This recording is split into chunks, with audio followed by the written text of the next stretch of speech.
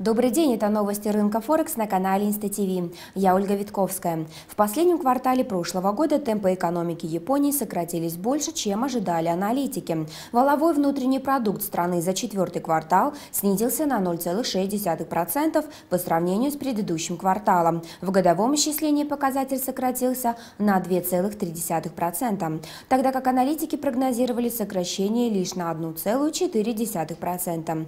Японские власти всеми силами пытаются восстановить свою экономику от последствий мартовских стихийных бедствий. Однако сильная иена создает в этом деле помехи. Находясь в статусе валюты убежища, иена получает поддержку в связи с повышенным уровнем безработицы в США, долговым кризисом еврозоны и общей неопределенностью в мировой экономике. Несмотря на неоднократные интервенции Банка Японии, курс иены продолжает свой рост, увеличивая тем самым цены на экспортируемый товар. Кроме того, основной потребитель японской продукции – Европа снижает свой спрос вследствие кризиса еврозоны. Также на экономический спад Японии повлияли низкие объемы производства, которые по причине стихийных бедствий уже в Таиланде страдали из-за перебоев в поставке материалов. На какие дальнейшие меры решится правительство, чтобы поддержать свою экономику? Ведь процентная ставка Банка Японии и так уже находится на рекордно низком уровне. Вы смотрели новости от компании InstaForex. Хорошего дня, до свидания.